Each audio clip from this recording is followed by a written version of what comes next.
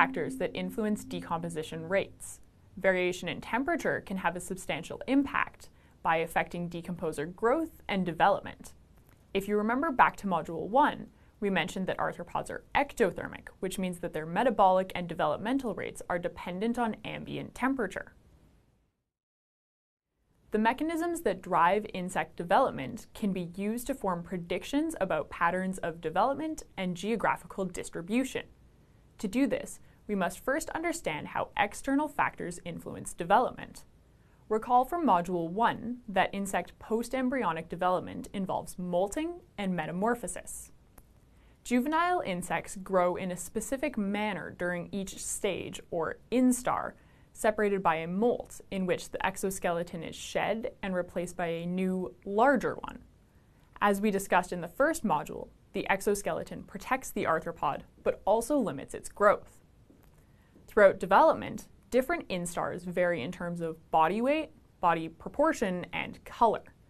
If a head capsule is present, its width can be a reliable measure of the stage of insect development. The specific number of larval instars required for development varies with insect species. In some cases, the number of juvenile growth stages can also vary within a species, depending on temperature, diet, larval density, and even sex. However, in most species, the total number of instars is genetically determined and remains constant, regardless of diet or environment.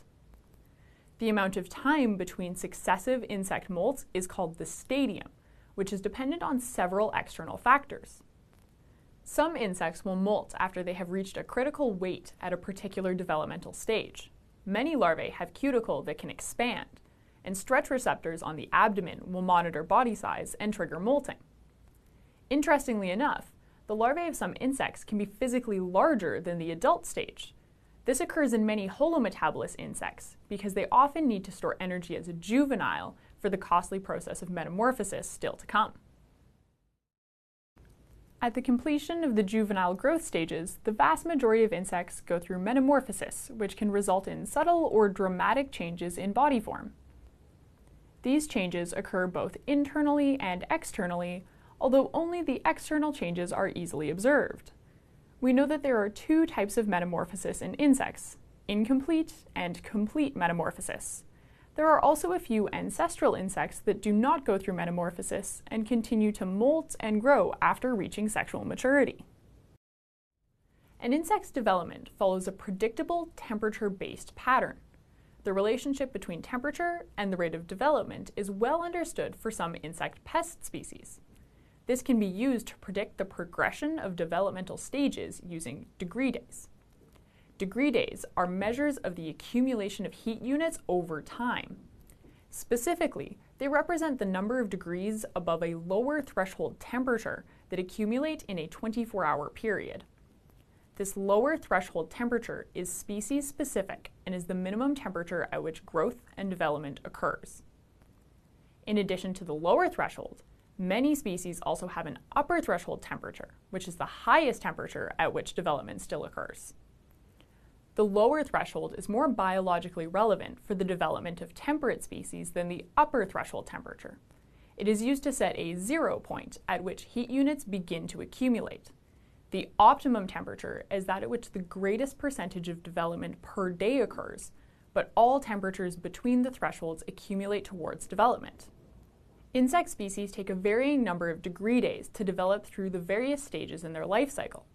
As such, the ability to calculate degree days is critical to estimate an insect's developmental rate. Given the relationship between temperature and insect development, we can create mathematical models that help determine an insect's developmental rate based on the temperature of its habitat. These models are known as degree day models. A separate degree day model is developed for each insect of interest.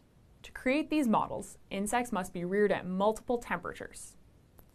The number of days required to complete development at each temperature can then be determined and used to calculate the percentage development per day at each temperature. All of this information is combined by a computer program to produce a species-specific degree day model degree day models have multiple applications for different fields of study. For instance, They are frequently used as part of pest management programs to help determine when the control methods that target different life stages will be most effective. They can also be used to predict when pest damage is most likely to occur by comparing ambient temperatures with models of how many degree days must accumulate for that species to reach a particular life stage. A real life example of this is the spruce budworm, in which the fourth and fifth instar larvae are most susceptible to insecticides. The spruce budworm has a lower threshold of 6 degrees Celsius and requires 235 degree days to reach the fourth instar. The degree day model for the spruce budworm incorporates this information to determine when biological or chemical insecticides will be most effective. Along with ambient temperature data, the model can be used in pest management to determine when the 235 degree days have accumulated so that controls can be applied when the majority of larvae in an infested stand will be in the fourth instar. Degree day models are also used extensively in forensic entomology to determine the developmental stage of larvae. Learn all about this in the next lesson. Because of the strong influence of temperature on development in insects, the number of generations per year, or the voltinism, can vary across a species' geographical range. Warmer temperatures allow for faster development, and so the number of generations produced annually in some species varies with temperature. Species that produce two generations per year are bivoltine, and those with more than two generations per year are considered multivoltine. Take, for example, the mourning cloak butterfly. This species of butterfly has a broad geographical distribution that extends across North America and northern Eurasia. Populations of these butterflies in the southern part of the range are multivoltine and typically produce up to four generations per year. Populations in the northern regions of its distribution, however, produce only one to two generations per year. Some insects have an obligatory diapause during development.